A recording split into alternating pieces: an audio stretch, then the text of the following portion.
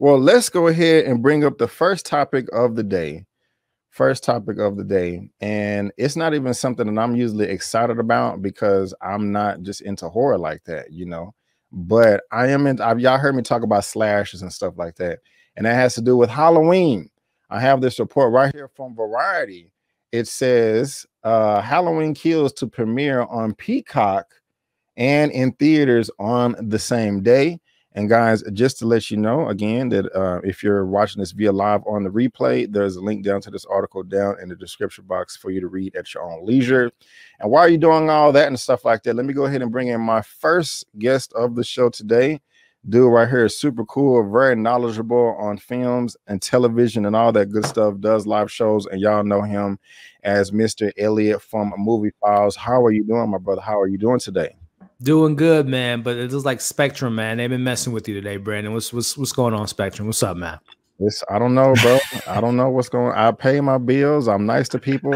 I, to customer service, I'm polite. You know, I do the surveys when yeah. we finish conversations, but the internet guys just was not um in my favor today, man. But I'm here right now, still trying to make it. So yes, sir. You know, and thank thank you for joining me. I do appreciate it, my brother. I do appreciate it. No doubt, man. Perfect timing too, because this is this is my boy. Michael's yeah. my guy. He's my guy. All right, all right. And, and before I pass it to you, man, just want to let y'all know. Of course, y'all know this is Elliot. Follow him on social media. His handle is on the screen. Of course, all of his information is down in the description box below. And like always, he is part of the fam over on my channel tab. And so make sure you show him some love. But yeah, man, we got this first topic right here from Variety. Halloween Kills, and I got all these ads in the way, but uh, okay, Halloween Kills to premiere on Peacock and in theaters on the same day. This is by Rebecca Rubin.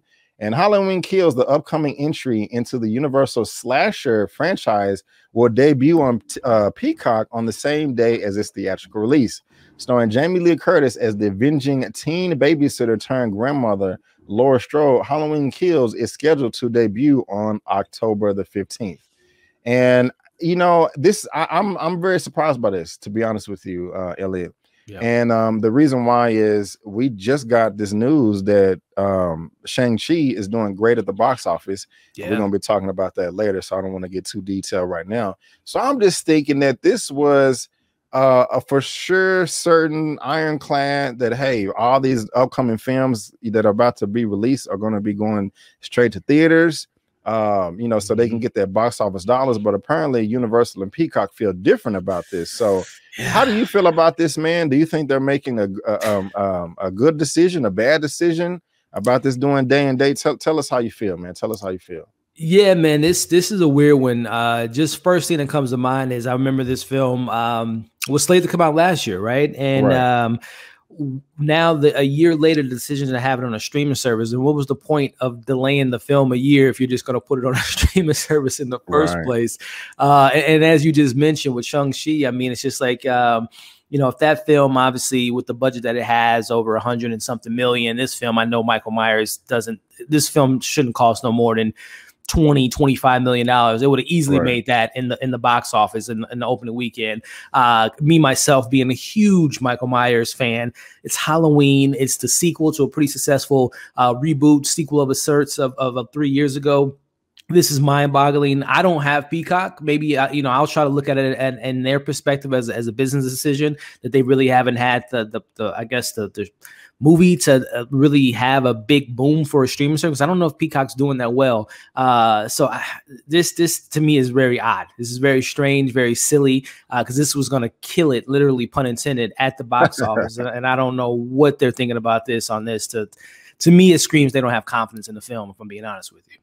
Yeah, um, to you know, I was kind of thinking that first. Um, and y'all know I love the box office. I just got to share this real quick. The first one, this came out in 2018. Look at those numbers, man. Yeah, yeah. Uh, God, dog. Look at that. that yeah, man. Oh, it don't don't cost a, a thing God. to make these movies. Man, let me make that super big so y'all can see it. Ten million dollars. Yeah, I thought Jamie Lee Curtis was worth more than that. Uh, apparently not. Oh, hey, took it off. Uh, She's like, I got a discount. This this is the this is the, the franchise that brought me to life. I'll give you guys a discount, five finger discount to come and yeah, do it, coming man. back. Because um the actors, the the perform actors, actresses' salaries is part of the production budget. So mm-hmm. I assume that Jamie Lee Curtis was getting bank. You know what I'm saying? But but before I give my commentary, let me just address the super chat real quick. Uh, you know, because I don't want that to um go away. What a money reside, what a money reside, what a money reside, what a money reside.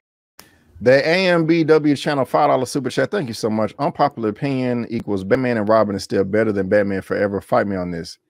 Um, you may be right. They were both horrible. um, I don't remember. Um, yeah. you know, but thank you for the super chat. LA, do you remember which one was better or worse? Uh, Batman and Robin. That was George Clooney versus Val Kilmer, if I'm not mistaken. Yeah, was Batman Forever the one with Freeze? Was Freeze? That was that, that was, was, that that one? I, I can't. Remember. I honestly, man, it's like PTSD with those films. I try to right. blank them and suppress them out, so I can't uh, really remember which uh, one is uh-uh. which. I understand. I understand. But thank thank you so much for the super yeah, man. Um, I, I really do appreciate that. Um, now again, like I was saying, I'm I'm really confused on this. Uh, like you said, but I yeah. was just kind of thinking to myself, and I don't have the information in front of me to provide you guys, so that's unfortunate. But I think that Peacock is just doing trash as far as uh subscriptions yeah. are concerned. Like, yeah, you know, uh, I heard that they have like 50 million, but then like only 20 million actually pay for it or or mm. actually use it, and then like maybe five million people only um they you know they only uh pay for it or something like that. So right, right that's right. kind of weird. But let, let, let's see what our, our second guest of the show has to feel about this. Y'all know him as the stock market master genius.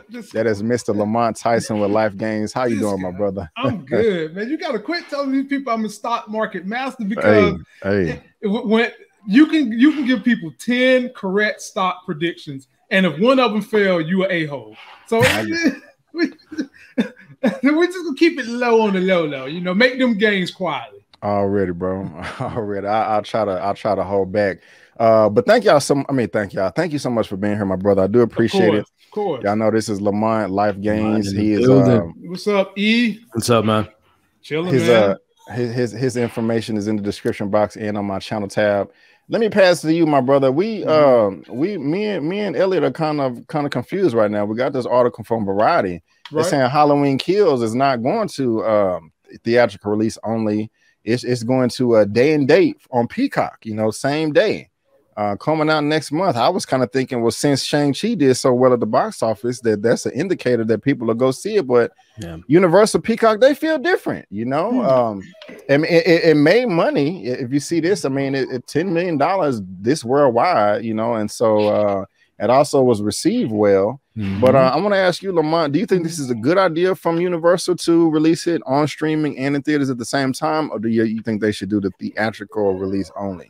How, how you um, I'll give you my personal bias. I'm personally biased as one of these people who feels like right now we should have a dual model, just because should not. we should we oh, should, should, have a dual okay. model because for years the richest people among us have been able to get these movies in their home theaters and watch them, but they pay a huge premium. Mm-hmm. Now, the reason why Peacock is doing it is not because that particular situation I said, but they are struggling like hell to get them numbers up on the app. Now, Peacock is um, NBC, which of course deals with Universal. And I don't think that they will be doing this type of model for long. I think the reason they're doing it right now is because they're trying to get buzz around getting their subscription numbers up. They're trying to be a major player in the subscription war that is being dominated by Netflix and Disney. And they just want people to know that, hey, we're going to have these big ticket items that you might be able to see in the future on our streaming service. And while you're here, we're also doing football. So come check us out. Right on, right on.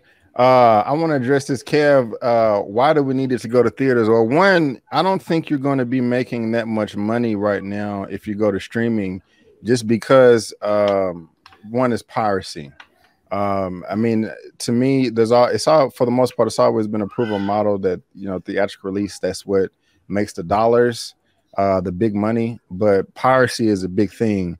Um, now this is a much cheaper film than Black Widow which yeah. you know, which I'm comparing it to by a lot. So I, I may not be able to compare it, but um, you know, if if you if a family of four go well, if one person goes to the theater by themselves, that's ten dollars. Um, you know, but you know the family thing that you can you can save money. But if if uh, if you invite friends over and they just pay for one subscription thing, and then uh, you know you have a whole bunch of people coming over to the crib watching it off that one subscription, that premiere package. You know that that's uh, tickets that are not being bought at the theater, so you're not making as much money in the long run. And so, I mean, that's just my take on it. Yeah. I could be wrong. Um, I do have a. Oh, I'm sorry. Go ahead, Elliot. No, I was just kind of. I was looking at their most recent slate in regards to just how did how left field this came, and that's why I think it, it does play in a little bit to the criticism of the film because it did premiere at Venice this, this week, and the, the reception wasn't that great. I'm looking at films like the Fur, the uh, the Purge Forever, which would have been a, a, great launching pad to if you're going to try this model. Why not have that film, which did not do well at, at all successfully? That seems like a streaming straight to streaming movie. Uh, M Night Shyamalan's Old could have been a good uh, film to kind of test it out. And then last, you know, a couple weeks ago, we had Candyman. So to me, I, am very confused on why this is the test dummy uh, to have this model day in day out with the with other three other horror films that probably would have destroyed it at the uh, the streaming services in regards to when they came out. So I'm very confused, and I really do think it's lack of confidence of this film, if I'm being honest. But I don't know, man. This is a strange call. I got you. Uh, was you was, was, was you about to say something else, Lamont? Yeah, I was going to ask. Um, are they are they doing some kind of a markup on this, or is it just going to come with the basic package? Um, how are they trying to monetize this movie that they're going to do the dual approach of streaming and in theater? It's a good question. Um, the Scary sequel will be available to Peacock Premium subscribers at no uh-huh. extra fee. Oh, no extra oh. fee the mm. service launched in 2020, runs at five dollars a month for its uh, ad-supported tier and $9.99 without advertisements. Uh, so that's a little bit of info right there. Um, mm. Other than that, my brother, um, Halloween Kills is the latest and long pandemic era releases to deviate from standard theatrical rollout. So, excuse, movie theater attendance has remained low. Traditional Hollywood studios such as Warner Brothers and Disney have opted to put many of the biggest simultaneously on big screen and streaming platforms. Yeah, those are bigger movies though that people yeah. are salivating at the mouth to see. But I mean, you know, Halloween and horror it does have its cr- crowd too. So I don't want to hit on it too much. But to answer your question, I don't really know, Lamont. Hmm. um, it looks like they're not. Based on what you just read, it looks like if you have the premium subscription, um, you're going to be able to watch it. Yeah. And I, I think that that's silly. Um, now. I'm not for these companies that are doing this to lose revenue. If you're going to do it, I think you should mark it up. However, the only reason I think they're doing this behavior, they're making this a loss leader as a way to attract more people to get this subscription service. That's the only logical reason they could be doing this because the numbers are terrible right now for that subscription service in terms of people getting the premium version of their service.